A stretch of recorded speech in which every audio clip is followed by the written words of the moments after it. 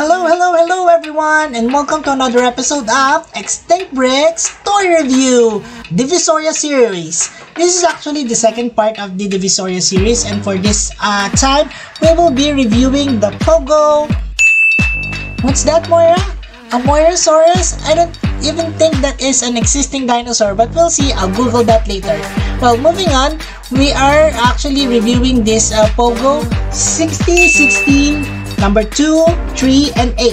Velociraptor series. So we have uh, three designs to it. We have an orange one, a blue one, and a green one. So the box actually is the same box as what we have reviewed uh, from the past and uh, uh, it actually is a good print to it and um, yeah so let's start uh, opening them one by one so uh, all three of them first let's start with the green one so this is number two Uh, okay so we have here the green uh, Velociraptor which is very similar to the Raptor that we've seen uh, before from what Lego released right if you can remember that one. Uh, the one from the um, kids series. So I think this is very similar to that one. So uh, reviewing the paint uh, on this one you can see that the paint app is quite okay better than the uh, one that we reviewed before. Uh, the paint on the head is quite nice and uh, however the eyes are somehow different. I don't know i really can't point out which is different in in this sense. I think uh, the size uh, of the eyes but do let me know if you guys can uh, actually point out what uh, particular difference is it.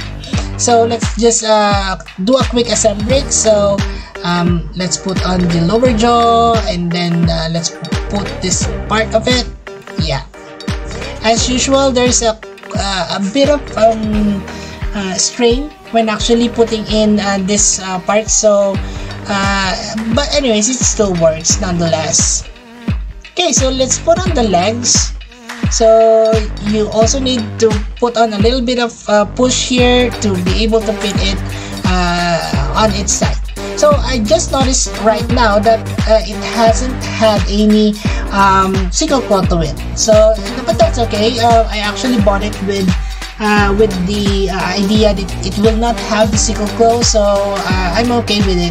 Uh, it is actually very useful when actually making other uh, customs because there aren't any or there aren't a lot of raptors uh, out there with this particular size most of it are smaller so I'm good with this particular um, feet without the sickle claws Alright, so here it is, the first one. This is 6016 number 2.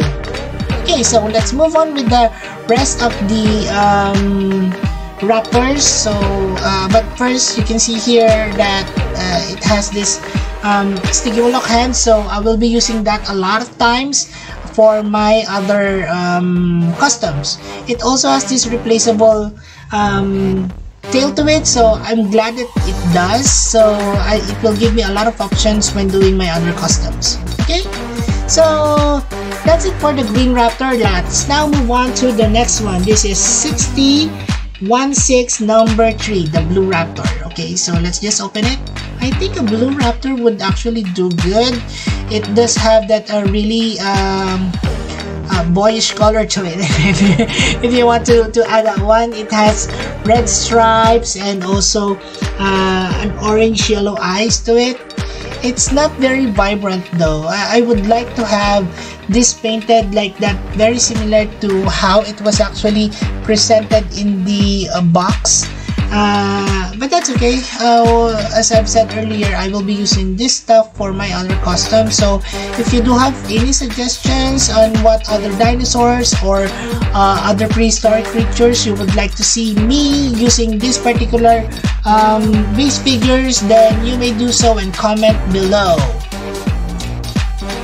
Okay, so moving on with the review, uh, it actually has a very simple uh, thing to it. I mean, the, there are a lot of um, uh, special paint on paint app on the head. It's just the eyes, I think, and that actually made it very good looking because the simpler it is, the better. So the teeth aren't painted, and uh, that's such a loss, but it's okay. Uh, the hands, the claws are also not painted, and uh, the only paint here would be the red uh, markings on the body and uh, also the tail.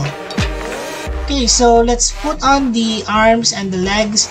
Also, this one will not have the sickle claws and uh, I've said earlier, it's okay. And uh, so this is it for the blue raptor so it actually looks good in, in my opinion at least you can play with this it's playable and it also has this removable tail to it although you cannot really twist it around uh, the thing is it can be um, reattached. So that is assembly points for you. Okay so this is the last one of the uh, set of the raptors that we have. So this is the um, brownish orange uh, raptor that we uh, just opened. And um, it's very similar to the colors of what we have on the boxes uh, unlike the Stygimoloch um, set that we did last time. So I'm pretty much happier in terms of um, scoring this one because it actually stayed true with how it looks like on the uh, boxes. Although uh, some of the features are uh, featured like uh, different colored nails and also the teeth uh, should be painted as well. So if you're interested to buy this one then you can actually paint it yourself if you want the only caveat for me would be actually putting in the um, the arms and the legs for this one. It has some of those um, you know protruding plastic to it. So better take them off or or uh, run the risk of you cutting yourself with these sharp pieces. So um, you can actually do that for yourself. So that is it for the set of the Velociraptors. And uh, rating it uh, definitely it will have a higher rate than that of the Stygimoloch um, figure so I'm thinking of giving this particular uh, set a 7 out of 10 so that's a big jump from the 5 over 10 uh, rating that I gave the Stygimoloch. So uh, overall, this is a good figure. It does have some caveats to it, but uh, it's okay. You can do with with uh, with some of those losses if you're not that picky. Oh, and may I remind you, it has this detachable tail. It's really cute, although you really cannot twist it while it is inside.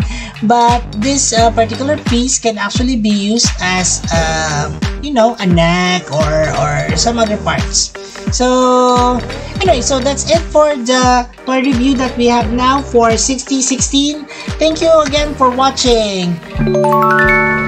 Also, our babies Moira and Asher has their own vlog now, The Adventures of Moira and Asher.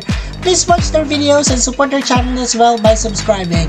And as we always would say, let your inner dino brick roar!